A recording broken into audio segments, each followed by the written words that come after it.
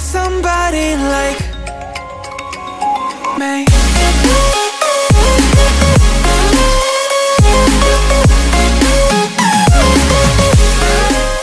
This is the comparative analysis of the property sector ending third quarter of 2022.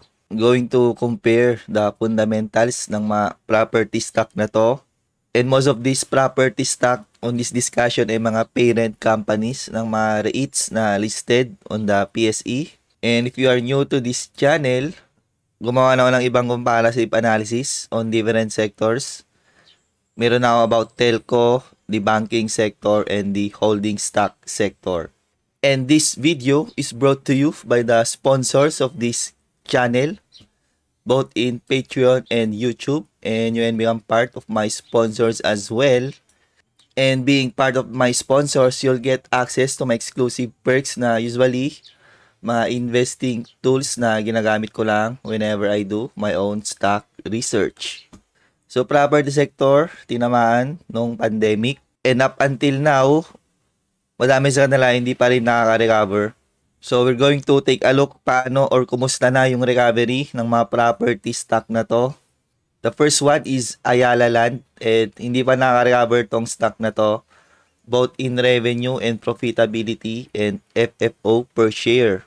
Meg, hindi pa rin nakaka-fully recover pero mas malapit kaysa kay Ayala Land both in revenues, profitability, nag-decline recently yung kanyang FFO per share. And next one, I would say, pinaka maganda yung recovery would be RLC. Recovered strongly in terms of revenue. Profitability, malapit na maybe by the end of this year. FFO per share, malapit na rin maybe by the end of this year. And then SMPH, ito malapit na rin revenue and profitability. Profitability medyo malayo pa.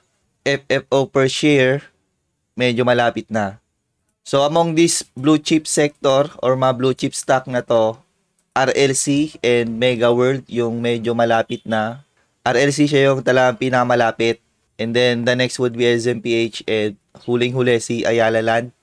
On the mid-cap index, ALLHC, malapit na on its revenue Profitability all-time high. FFO per share, malapit na rin. VLL, nagre-recover pero malayo din siya. DD, all-time high in revenue. However, profitability hindi. FFO, nag-positive siya on a trailing 12 months basis. FLI, revenue, malayo pa.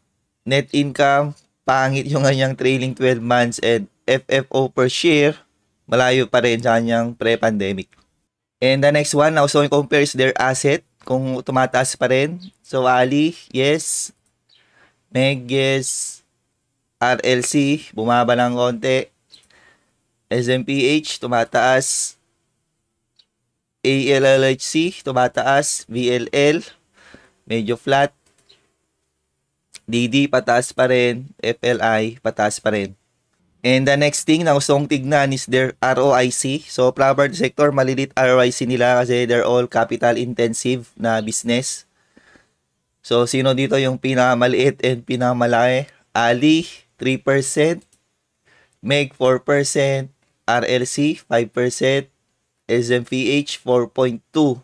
So, on the main index, RLC is number 1 with 5%, followed by Mega World. And pinakamaliit si Ali, 3%. ALLHC 5.68%, VLL less than 3, DD 4.5, FLI 1.66%. So pinakamababa sa lahat is FLI, pinakamataas sa lahat is ALLHC na close to 6%. And the next thing na gusto kong i-compare is their debt to EBITDA. So, Ali, 5.24, lumobo compared to its pre-pandemic na below 3. So, kailangan niyang balik yan. Meg, 3.93, pababa na siya. RLC, 2.19, pababa rin. SMPH, 5.5. So, on the main index, RLC yung may pinamagandang debt to EBITDA of below 3. On the mid-cap index, ALLHC, below 3 din siya. VLL, 9. DD 5.26 and FLI 9. So, highest leverage in all these property stock eh, FLI and VLL. And then the lowest one would be RLC and ALLHC. And the next one is the dividend yield. So, we're going to compare yung kanilang average 3-year na dividend yield. Ali, mababa lang, 1%. Meg, mababa din, 1.17%. RLC, 3%. SMPH, less than 1%. ALLHC, hindi namimigay. VLL, 2.5%. DD, so I think nasama dito yung preferred na dividend payout niya. So mababa lang yung dividend yield ni DD and actually recently lang yan namimigay. I think for the past 2 years lang. And then FLI, pinakamataas 6%. So ito yung comparison ng kanilang 2022. So FLI yung pinamataas 5.22% followed by Double Dragon na 3.4 na recently lang to namimigay 2019, 2020 hindi yan namimigay. Then last year and then this year lang. RLC consistent almost 3% lagi. Meg 2.65% then yung iba mababa na. And ALLHC hindi yan namimigay. So dito, pinakamalaki si FLI, pero with the amount of debt to EBITDA na meron siya, babumagsak ulit yan next year to maybe 3% to 4%. Unless magkaroon siya ng magandang fourth quarter kasi nga siya may pinapakit ngayon na no, trailing 12 months. And then next is the valuation. Sino pa sa mga to yung undervalued right now based on their current trading price? So, Ali, 18 to 21.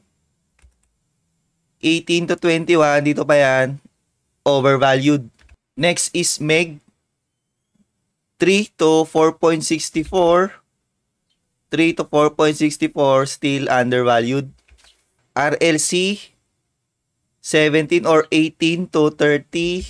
18 to 30, dito ba yan? Punta rito. Still undervalued. SMPH 16 to 17, 16 to 17, babalik siya rito, grossly overvalued.